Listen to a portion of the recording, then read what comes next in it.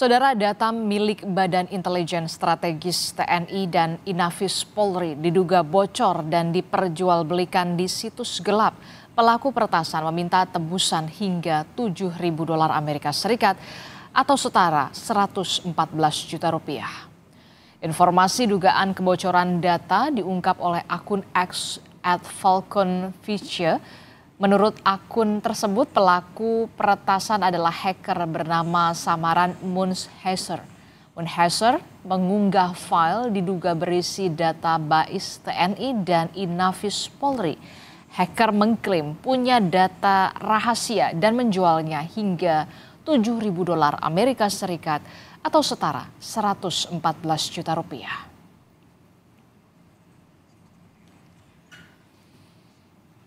Sementara Polri menegaskan bakal mengusut pelaku peretasan Pusat Data Nasional dan sejumlah lembaga, lembaga negara. Polri juga akan bekerja sama dengan Kominfo maupun Badan Siber dan Sandi Negara atau BSSN untuk segera memulihkan situs yang diretas. Menurut Kadif Humas Mabes Polri Irjen Sandi Nugroho, Polri akan berkolaborasi dengan institusi terkait dengan pengusutan peristiwa peretasan data. Polisi juga akan segera melakukan langkah mitigasi agar tidak terjadi lagi. Saja Polri akan berkolaborasi dengan sekuritas terkait lainnya untuk menangani eh, kejadian-kejadian yang saat ini sedang terjadi. Mudah-mudahan mohon doanya semuanya bisa kita tuntaskan, semua yang terjadi ini bisa kita mitigasi dan kita antisipasi kembali. Kita akan terus dengan uh, sekuritas dari maupun yang lainnya. Badan Siber dan Sandi Negara atau BSSN mengonfirmasi adanya peretasan dan penjualan data milik Inafis Polri. Dari hasil pengecekan sementara data dijual adalah data lama yang tidak diperbaharui. BSSN dan Polri sudah mengecek data milik Inafis Polri yang diperjualbelikan di situs gelap. Menurut Kepala BSSN Hinsa Siburian, data tersebut merupakan data lama namun BSSN mengklaim sistem Polri tak mengalami gangguan meski ada dugaan kebocoran data.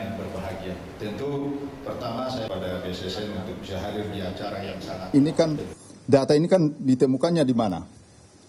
Dasar sumber informasinya dari dark web kan. Dark web itu sama dengan pasar gelap.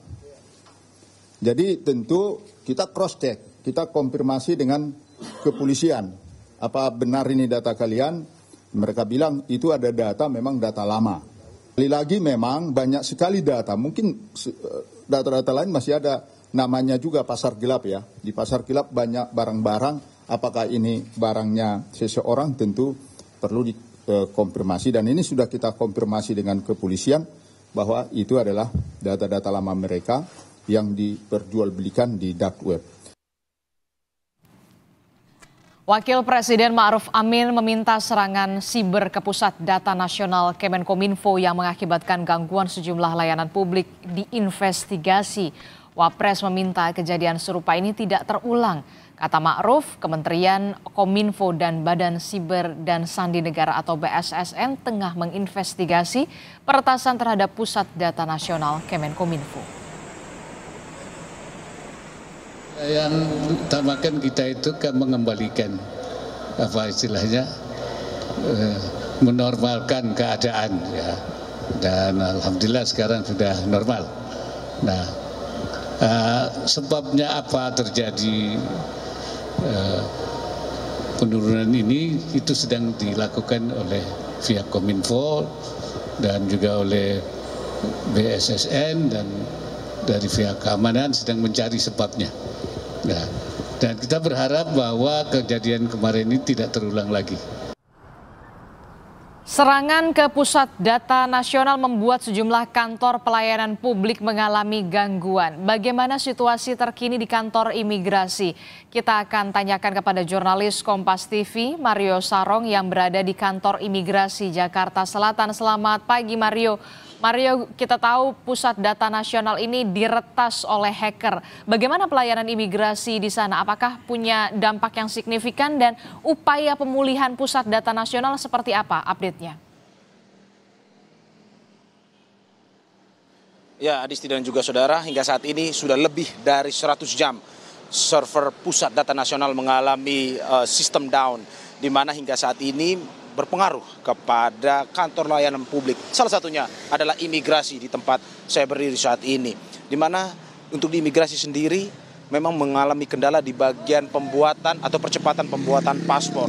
Hingga saat ini saudara memang terlihat bahwa sistem melalui uh, pemulihan demi pemulihan dari hari Kamis kemarin hingga saat ini. Tetapi memang masih ada sedikit kendala yang terjadi. Seperti hingga saat ini memang saudara untuk pemulihannya bisa terlihat dari proses pelayanan perekaman biometrik yang sudah mulai pulih dan masyarakat bisa uh, melakukan uh, perekaman biometrik tersebut di kantor imigrasi. Tetapi masih ada yang masih memiliki gangguan seperti proses percetakan dan penerbitan paspor di mana hal ini masih terjadi terus gangguan dan masih mengalami pemulihan dan diharapkan pada minggu ini atau hari Rabu hingga pada hari Minggu besok pemulihan tersebut sudah bisa dilaksanakan dengan baik.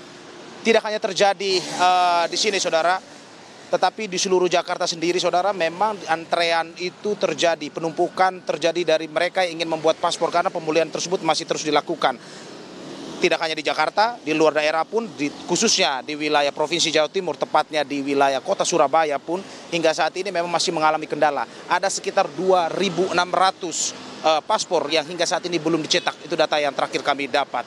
Sehingga dari Dirjen Imigrasi sendiri, Silmi Karim mengatakan bahwa meminta masyarakat untuk sedianya untuk menunggu pemulihan yang terus terjadi.